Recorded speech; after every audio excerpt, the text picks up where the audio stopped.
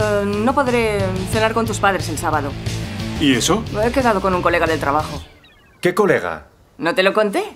Pues resulta que Martín ha dejado la empresa y Borja es quien le sustituye desde hace una semana.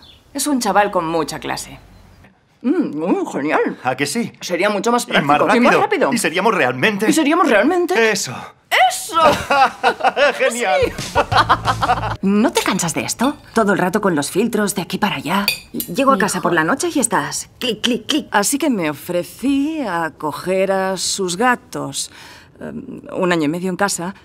eh, puesto que nadie puede hacerse cargo No. de ellos y suponen... He decidido llamarla Petri la guapa. Venga ya. Es que Petri a secas quedaba raro, Claro. pero la guapa suena más a estrella. Sí, Como más cinematográfico, ¿sabes? Con un nombre así seguro que gana. Adelante, dime, hijo. Hola, mamá, mira, tengo un regalo para ti. Y boom, se lo enseño. Yo vomito. ¿Qué? No, no, vomito ¿pero qué dices? y lloro porque pienso que a mi hijo se le ha ido la pinza. Mi madre me quiere. Y yo a ella también. No es Es una, una mujer buena muy idea. importante para mí. Puede que la mujer más importante de mi ¿Ah, sí? vida. Después, después de ti, o, o más bien antes. Bueno, a ver. Está muy rica la pizza. Sí. ¿Crees que te quedará sitio? Porque como yo también soy la mujer más importante de tu vida, podrías hacerte algo discretito. ¿Mi nombre quizá? Eh, pues claro.